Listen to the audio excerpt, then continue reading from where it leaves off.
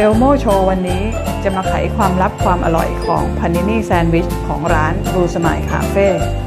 เมนูขายดีประจำร้านเพราะว่าขนมปังเนี่ยเขาทำเองเป็นขนมปังโฮมเมดเริ่มต้นด้วยก็จะใช้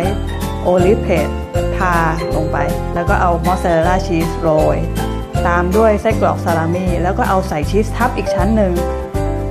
แบบว่าเต็มเต็มกันทีเดียว ขนมปังอีกแผ่นเนี่ยเขาจะใช้ซอสเพสโต้ทาแล้วก็ ต้นโหระพาอิตาเลียนที่เขาปลูกเองเนี่ยเขาเอามาทำซอสเพสโต้เสร็จแล้วเนี่ยประกบด้วยขนมปังอีกหน้าหนึ่งพอประกบเป็นแซนด์วิชเสร็จแล้วเนี่ยจะทาด้วยน้ำมันมะกอกให้ทั่วเลย ทั้งสองด้าน เสร็จแล้วเตรียมแซนด์วิชใส่กระทะพานินี่ย่างไฟด้วยวิธีแบบดั้งเดิม เคล็ดลับความอร่อยคือว่าจะต้องพิถีพิถันแล้วก็หมั่นค่อยๆ ดูใจเย็นๆ ดูไปพลิกไป พอเห็นว่าข้างนอกกรอบสวยเหลืองกำลังดีแล้ว ก็สามารถที่จะ ร็จสิ้น แล้วก็เอามาเสิร์ฟได้ ก็จะได้พานินี่แซนด์วิชที่เป็นเมนูขายดีของร้าน กรอบนอก นุ่มใน พร้อมเสิร์ฟกับแตงกวาดองโฮมเมดด้านบนแล้วก็มะกอกเขียวด้วย